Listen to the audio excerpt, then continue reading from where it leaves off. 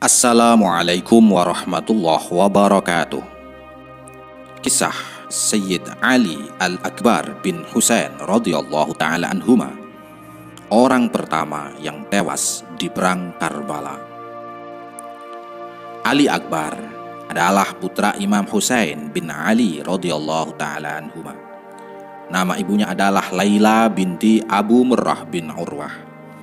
Ia mempunyai badan yang lebih besar dibandingkan kakaknya, Ali Zainal Abidin bin Husain. Oleh karena itu, ia digelari Ali Al-Akbar, Ali yang berbadan besar. Ali Akbar dibesarkan oleh seorang ayah yang menjadi cucu kesayangan Rasulullah Shallallahu Alaihi Wasallam dan seorang ibu yang berakhlak mulia. Ia meneguk keimanan dan menyerap ilmu dan ma'rifah dari ayahandanya. Maka tumbuhlah Ali Akbar menjadi seorang pemuda saleh, pemberani, cinta perjuangan, dan berani berkorban. Tidak sedikit pun kelemahan terpancar dari jiwanya. Ia seorang pemuda yang tangkas mengendarai kuda. Para ahli sejarah menganggapnya sebagai pemuda Bani Hashim yang mahir mengendarai kuda. Sejak kecil, sudah tampak keistimewaan yang dimiliki Ali Akbar yaitu sangat cermat dan berpandangan luas. Sifat inilah yang sangat dikenal musuh-musuhnya.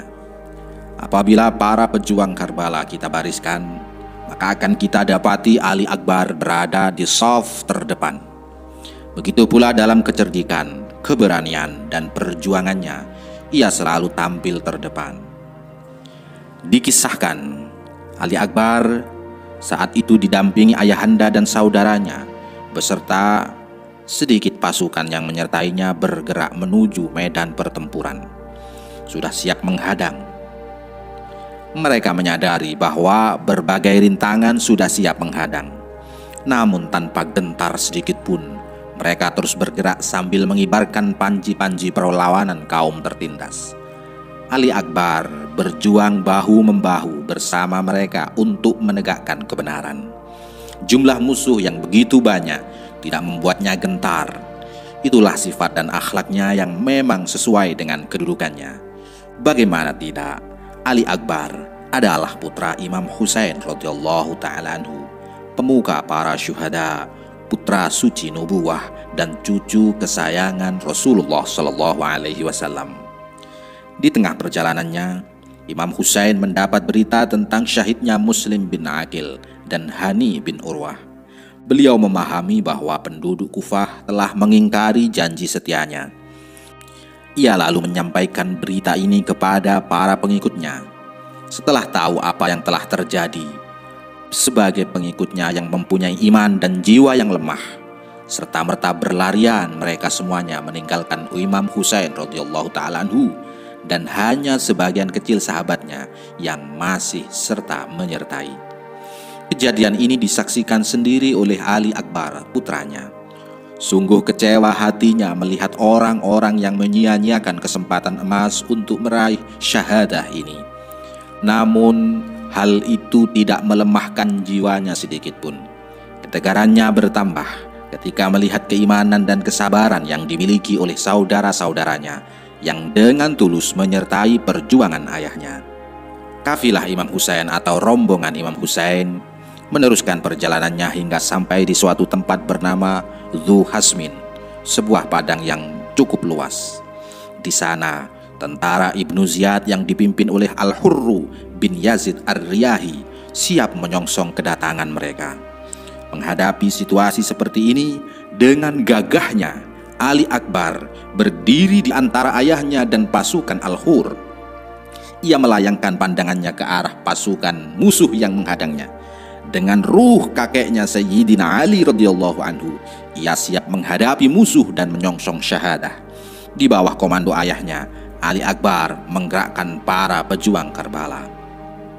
Cahaya fajar hari Ashura menyinari para pejuang Islam yang sudah siap tempur melawan pasukan Umayyah. Motif perjuangan mereka hanya satu, yaitu berjuang di jalan Allah. Mereka siap menghadapi pasukan musuh yang dipimpin oleh Awan bin Sa'ad. Darah-darah mereka siap dicurahkan untuk membela kebenaran.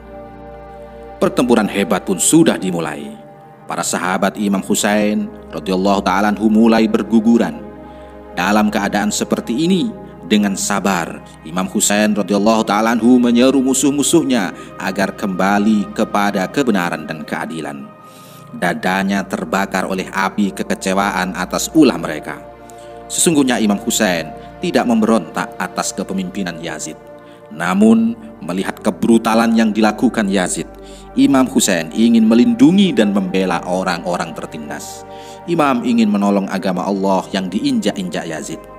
Ia tidak takut dan tidak akan tunduk kecuali kepada Allah Subhanahu wa taala. Dalam kecamuk pertempuran, Imam Husain tidak henti-hentinya memberi peringatan dan ajakan kepada musuh-musuhnya agar kembali kepada kebenaran. Namun, karena kehidupan mereka sudah diliputi cinta dunia dan kejemutan, kekakuan, sehingga sedikit pun mereka tidak terdorong untuk taat kepada Allah dan beramal untuk meraih ridhonya. Ketika pasukan Ibnu Ziyad mengepung dan menyerang para pengikut Imam Husain radhiyallahu anhu, Ali Akbarlah yang pertama kali menyambut serangan mereka. Jumlah musuh yang begitu banyak dengan persenjataannya yang lengkap tidak sedikit pun menggetarkan nyali Ali Akbar. Setelah pertempuran yang sangat hebat itu berlalu beberapa saat, Sebagian besar para pembela Imam Husain radhiyallahu anhu berguguran. Jasad-jasad mereka seakan-akan dipeluk mesra oleh tanah Karbala yang sudah basah tersiram darah-darah suci mereka. Pada saat itu, di sekeliling Imam Husain radhiyallahu anhu yang tersisa hanya tinggal anggota keluarganya saja. Pada malam Ashura, para pemuda Bani Hashim bertekad mempertaruhkan jiwa mereka sampai titik darah penghabisan mereka tidak rela melihat putra Imam Husain radhiyallahu anhu dibantai di hadapan mata kepala mereka sendiri. Keesokan harinya, pada tanggal 10 Muharram, mereka terjun ke medan pertempuran sehingga satu persatu berguguran. Semangat dan keberanian dalam kalbu mereka untuk tetap menegakkan kebenaran dan kerinduan meraih syahadah telah menggerakkan mereka untuk maju terus pantang mundur.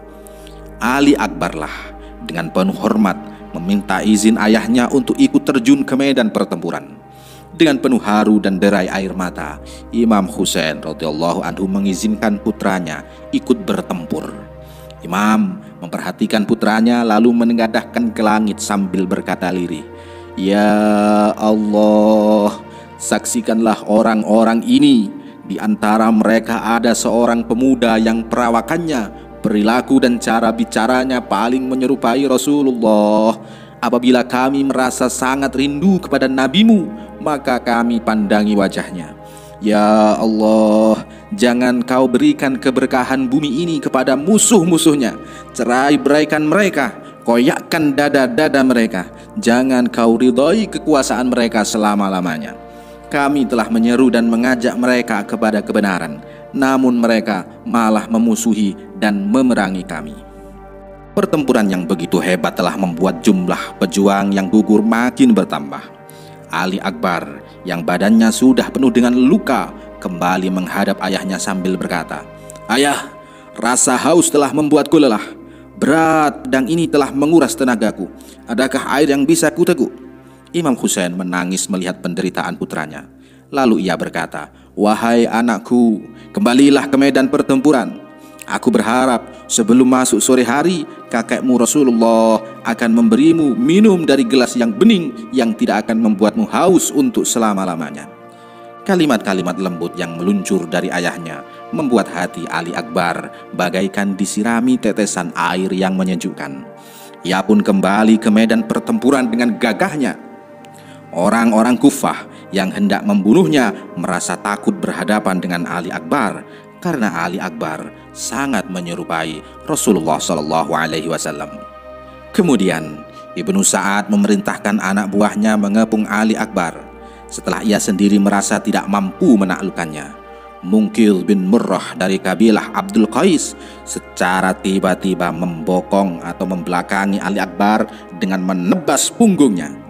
Ali Akbar tampak terkulai di atas leher kudanya.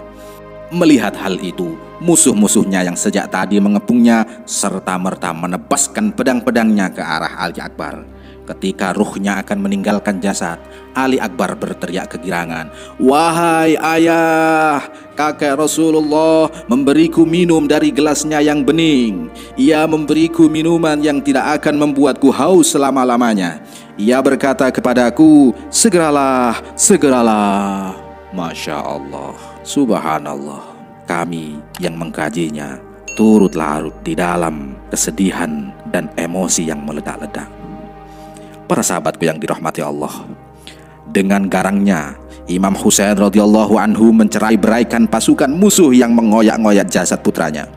Diangkatlah kepala putranya, kemudian diletakkan di pangkuannya. Darah dan tanah yang melumuri wajahnya beliau bersihkan dengan lembut sambil menangis. Husain radhiyallahu taala anhu berteriak, "Semoga Allah membinasakan orang-orang yang telah membunuhmu." Betapa durhakanya mereka kepada Allah dan Rasulnya. Lalu ia berkata lagi, tidak ada artinya dunia ini setelah kepergianmu nak. Imam Husain radhiyallahu taala anhu memerintahkan para pemuda Bani Hashim untuk membawa jenazah putranya ke dalam kemah. Melihat keponakannya terbunuh, Zainab radhiyallahu taala anha keluar dari kemahnya sambil berteriak-teriak mengutuk para pembunuhnya.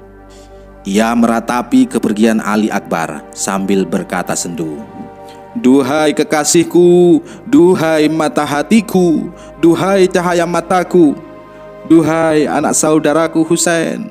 Kemudian ia menjatuhkan badannya di atas jenazah suci Ali Akbar sehingga air matanya membasahi wajah keponakannya.